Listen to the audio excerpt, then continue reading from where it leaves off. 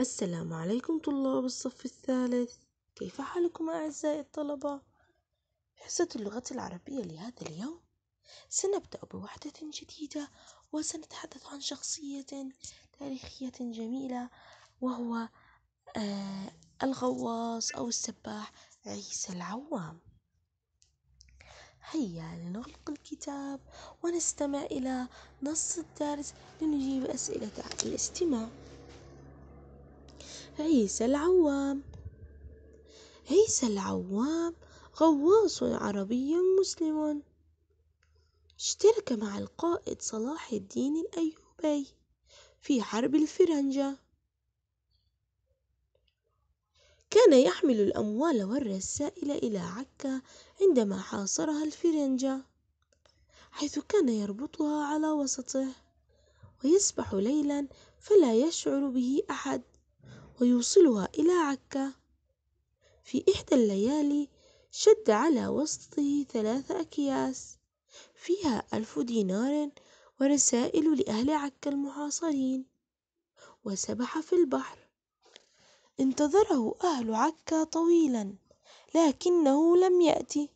بعد أيام وجده الناس على شاطئ عكا ميتا وعلى وسطه الذهب والرسائل. لقد أدى الأمانة حيا وميتا. طبعا من البطل الذي المسلم الذي تحدث عنه النص عيسى العوام. من الذين حاصروا مدينة عكا؟ الفرنجة طبعا عكا هي مدينة في تعرفوا وين موجودة؟ في فلسطين. موجودة في فلسطين. والفرنجة هم الإنجليز طبعا يعني هم بنحكي عنهم زي اليهود بس هم آه، كان زمان يسموهم الفرنجة. كيف كان عيسى العوام يوصل الرسائل إلى عكا كان يربطها على وسطه ويسبح ليلا من دون أن يشعر به أحد. أحسنتم. القائد المسلم الذي حارب نضع دائرة هون القائد المسلم الذي حارب معه عيسى العوام. صلاح الدين الأيوبي. كان عيسى العوام يوصل الرسائل إلى مدينة عكا ومات عيسى العوام ماله غرقا. طبعا شو يعني العوام؟ أي السباح. نضع عنوان آخر للنص. هذا عليكم أنتوا تضعوا عنوان آخر للنص. أنتوا بدكم تحلوه. لكن أنا مثلا أعطيتكم السباح الماهر ممكن نحكي. الآن بعد ما حلينا أسئلة الاستماع سنتناقش صور التحدث. وعندي أربع صور. طبعا آه، الصورة الأولى إيش ممكن نعطي عليها جملة أو آه، نتحدث بها بجملة؟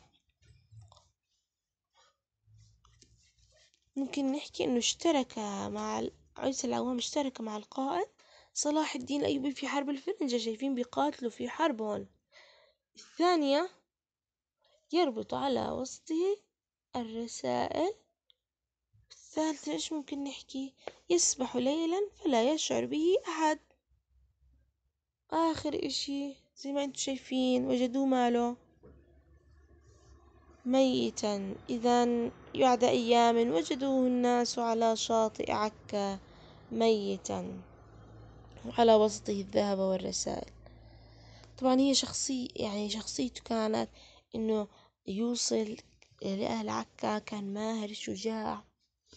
تعرفوا آه، الفرنجة كانوا يقاتلوهم إذا شافوهم ويحاصروهم. طبعا تتدرب على قراءة الدرس. جيدا سنقوم بقراءة الدرس في الحصة القادمة إن شاء الله. هيك خلصنا حصتنا يا ثالث. يعطيكم العافية. إلى اللقاء.